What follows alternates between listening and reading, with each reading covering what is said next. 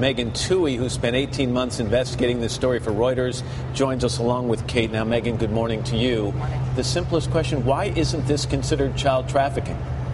Well, if, uh, if in order for it to be considered child trafficking, the person who's taking the child has to pay for the child, and many times there's no money being changed hands in these transactions. Well, but but Kate started her introduction by saying once you adopt a child from overseas, that child is just like your biological child. They're your child. Well, a biological parent can't take their kids to a truck stop and hand them off to strangers and drive away. Why are parents in this case allowed to do that? Well, actually, parents can do that with their biological children. But what's evident if you examine the rehoming network uh, is that that's not happening. Biolo- parents aren't going on and offering their biological children.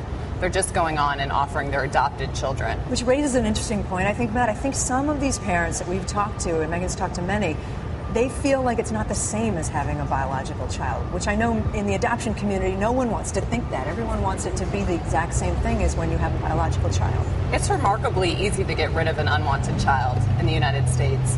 All you need is a power of attorney, 400 word document that's notarized where you basically sign over your child to another adult and say that they're now in their custody. And it's not filed anywhere, there's no court involvement, no judge. So I was going to say the key thing is that in many cases, Matt, nobody's watching over this. Nobody's monitoring those websites that Megan uncovered. Startling. Again, Megan, thank you very much. Kate, as always, thank you very much.